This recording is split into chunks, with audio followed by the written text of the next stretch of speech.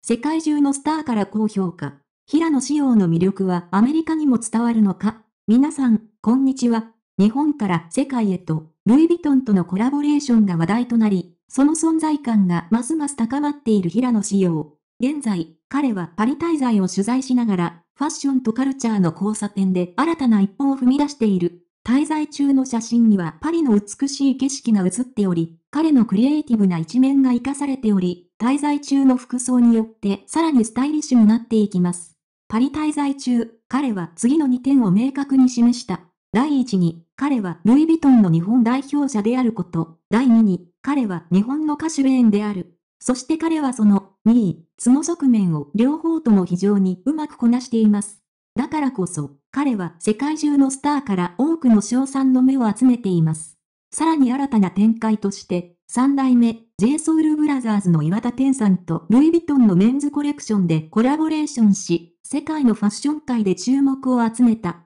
共に吉友県出身の岩田と平野は、地元の誇りを胸にパリで出会い、ファンに深い感動を与えた。また、私個人としても、彼らが異国で国民の団結の精神を見事に発揮した姿を大変誇りに思います。一方で、異分野の交流も面白い要素です。プロスケートボーダー、堀米優斗との出会いが新たな興味を呼び起こした。ルイ・ヴィトンのファッションショーに参加した堀米は平野との交流を SNS で公開し、ファンの間で話題となった。異分野のトップアスリートが出会った瞬間から感じられる異質な才能の融合と、そこから生まれる新たな可能性を発見してみませんかさらに、平野氏の国際交流を振り返る。アメリカのラッパー、スウェーリーと撮った写真の公開は音楽ファンを大興奮させた。ルイ・ヴィトンの2024年メンズコレクションで再会したファレル・ウィリアムスの喜びと、スウェイリーとの友情が彼の音楽にどのような影響を与えているかを新たに見てみましょう。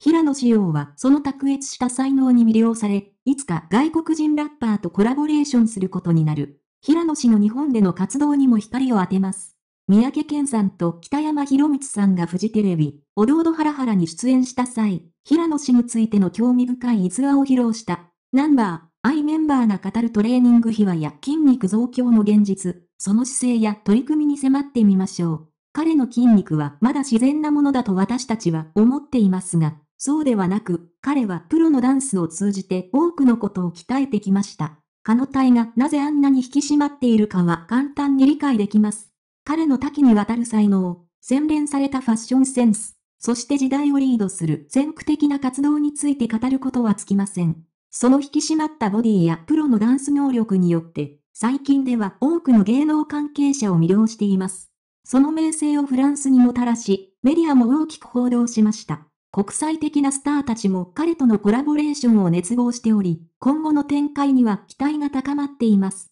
彼が世界中の有名人とのコラボレーションを果たす日が近いことを期待しています。